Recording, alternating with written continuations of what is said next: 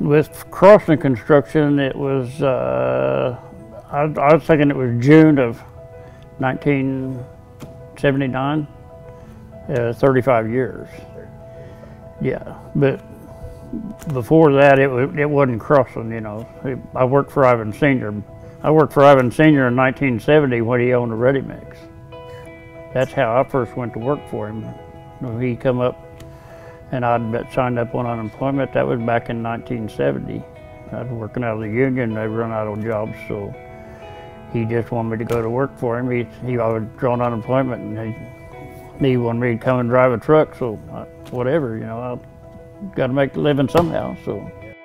It's a lot different then, you know, we didn't have near the safety what we have now. We did most of the time we worked on a job in the summer. We never nobody ever wore a shirt, which now everybody has to wear a shirt. We didn't wear hard hats. We just you know it just it wasn't required, so we didn't do it. No safety harnesses, nothing. Just everybody worked together. That's the way it is more now. I mean, just the same way it is now. Everybody works together, but Usually your crews wasn't near as big as what they are now. So, you know, you guys have a lot more guys on the job, which we wasn't very big then. I think there was like maybe 14, 15 of us when I first started. So the company is, is, has always been good. I mean, I've never seen it just, you know, it, it's always grown some every year I've been here, every year, you know. I don't think they'll ever go down you know, I think they'll always keep growing.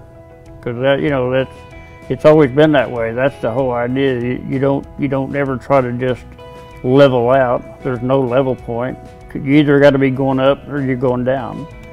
And you, you always got to try to keep progressing.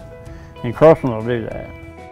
You just got to grow with the company. You can't, I mean, if, if you don't, you're, you're out of it. You got to, you got to keep learning more and you know you're always learning anyway if you're not learning you're not doing nothing so so you got to you got to take everything and just just keep pushing yourself to to do better that's what it's all about that's the company that's the company too you know the company works hard but when they play they play hard so that's that's the way it is you know everyone in general just i want to thank everybody for for everything they've done for me you know they've They've always treated me good. Whatever I needed, they see that I got. They just, just like friends.